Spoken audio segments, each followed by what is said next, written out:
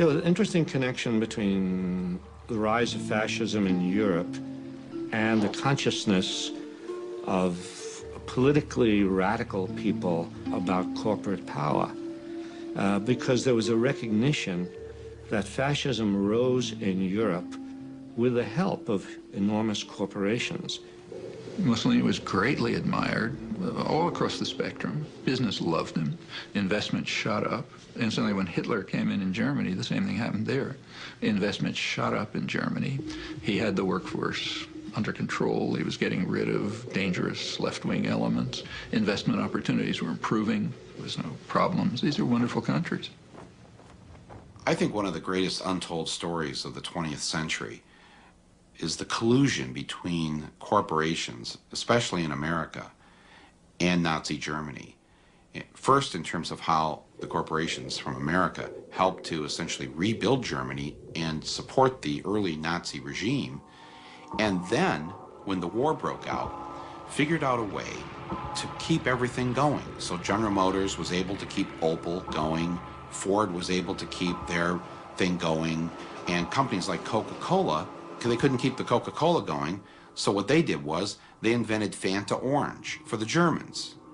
And that's how Coke was able to keep their profits coming in to Coca-Cola. So when you drink Fanta Orange, that's the Nazi drink. That was created so that Coke could continue making money while millions of people died.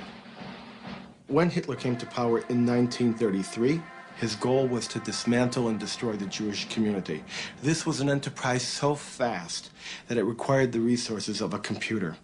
But in 1933, there was no computer. What there was was the IBM punch card system, which controlled and stored information based upon the holes that were punched in various rows and columns. Naturally, there was no off-the-shelf software as there is today. Each application was custom designed, and an engineer had to personally configure it. Millions of people of all religions and nationalities and characteristics went through the concentration camp system. That's an extraordinary traffic management program that required an IBM system in every railroad direction and an IBM system in every concentration camp.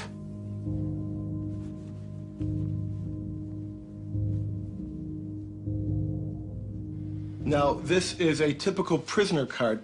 There are little boxes where all the information is to be punched in. We compare this information to the code sheet for concentration camps. And here you see Auschwitz is one, Buchenwald two, Dachau is three. Now, what kinds of prisoners were they? They could be a Jehovah's Witness for two, a homosexual for three, communist for six, or a Jew would be eight. Now, what was their status? One was released, two was transferred, four was executed, five was suicide, and six.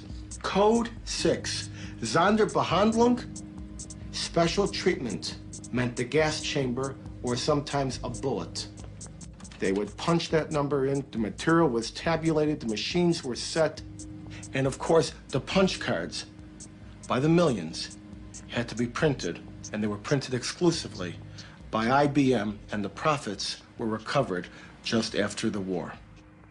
It should not surprise us that corporate allegiance to profits will trump their allegiance to any flag.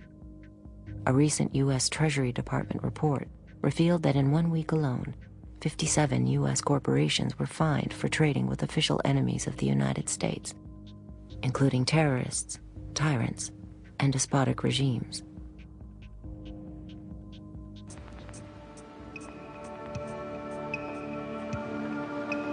Roughly locate any community somewhere along a scale running all the way from democracy to despotism.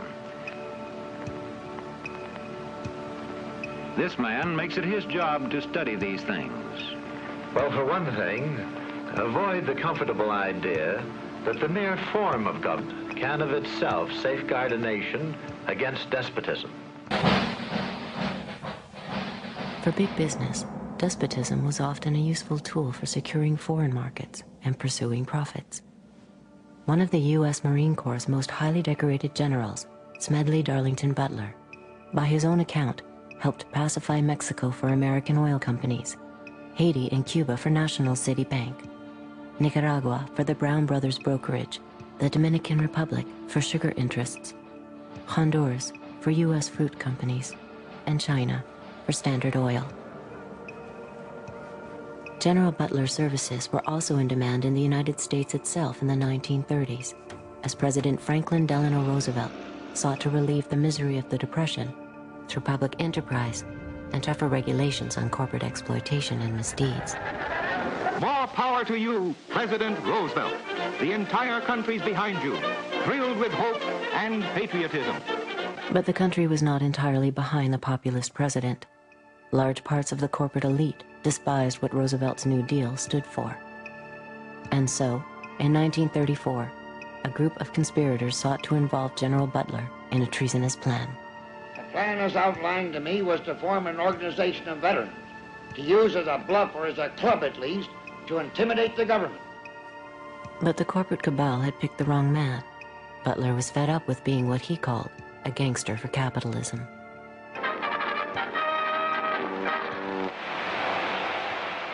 I appeared before the Congressional Committee, the highest representation of the American people, under subpoena to tell what I knew of activities which I believe might lead to an attempt to set up a fascist dictatorship. The upshot of the whole thing was that I was supposed to lead an organization of 500,000 men, which would be able to take over the functions of government. A congressional committee ultimately found evidence of a plot to overthrow Roosevelt. According to Butler, the conspiracy included representatives of some of America's top corporations, including J.P. Morgan, DuPont, and Goodyear Tire. As today's chairman of Goodyear Tire knows, for corporations to dominate government, a coup is no longer necessary. Corporations have gone global. And by going global, the uh, governments have lost some control over corporations, regardless of whether the corporation can be trusted or cannot be trusted. Governments today do not have over the corporations the power that they had and the leverage that they had 50 or 60 years ago. And that's a major change. So governments have become powerless compared to where they were before.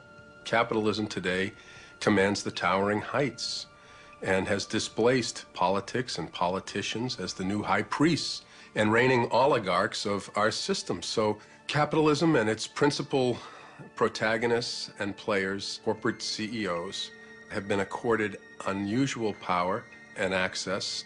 This is not to deny the significance of government and politicians, but these are the new high priests. I was invited to Washington, D.C. to attend this meeting that was being put together by the National Security Agency called the Critical Thinking Consortium.